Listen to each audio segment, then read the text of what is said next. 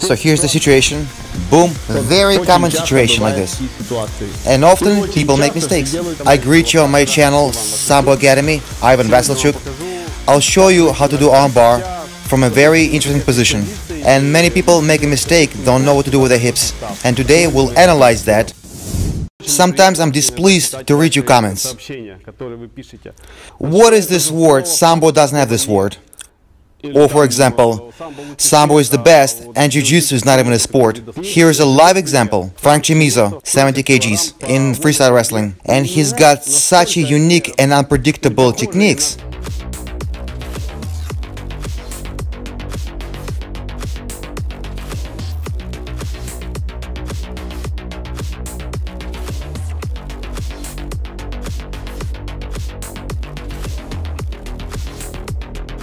I bet you that he went somewhere, maybe judo, maybe jiu-jitsu, maybe sambo, in order to learn something new things.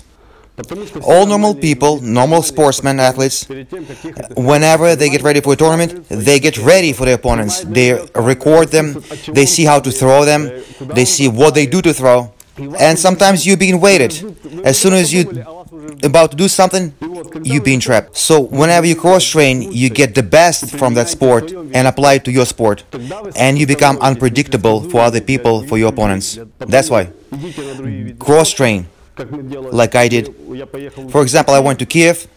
And my coach said, go to judo, go to freestyle wrestling, collect something and wrestle in different styles. From freestyle wrestling, we learned double leg takedown, learn something else in judo. And that's why we don't get frazzled when we witness something new. Because we learn something new as well. Something people don't expect from us. That's why. Respect other sports. With pleasure, cross-train, extract whatever you need and apply in your sport. And win. And now we're going to parterre and going to analyze armbar. Common situation here. And commonly, mistake is made. In order for him to es escape, he wants to come up. And what do we do? We want to pull him in that direction. It's very hard when he's resisting. So if the guy is coming up, he lifts his head first. And you want to load up his head. What do we do? We throw our hips up. There we go, threw our hips up. You see, I loaded his head up. Don't try to roll him over in that direction. There are some sweeps, but they hard. It's much easier to throw hips on his head. We loaded him up, and he's ours. And let me tell you how to throw your hips up correctly. This is the example that I'm showing you. You can do it from standing position, from kneeling position, or even lying down. What's the idea? The idea is to throw your hips on his head. And the first move that you make, that you apply,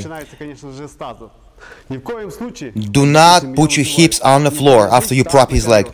If you if you put your hips down, it's much much harder to elevate it. So therefore, you got a grip here, or here, here, maybe just pinch the arm. You can grab the lapel. It's uh, important to prop the far leg, and he starts to bend.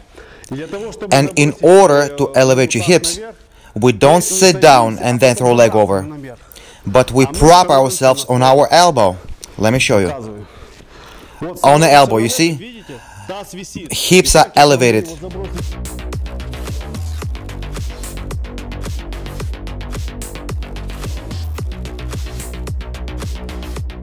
So here's the situation. Boom. And I spin really fast.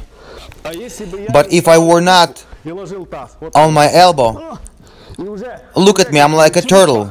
I have to elevate, I really, really slow myself down. So in order to avoid that, always use your arm and elbow. Hips are suspended. I'm pushing and one fluid movement I spin. Don't stand like this on your knees. You see he can come up and throw you off. Always rotate sideways. And arm is mine. And even if the arm is not there, it's still my situation. I can grab his waist or leg, and if he pull the arm out, I can get to his back. Important to prop the far leg, and he starts to bend. And in order to elevate your hips, We don't sit down and then throw leg over. But we prop ourselves on our elbow. Let me show you. On the elbow, you see? Hips are elevated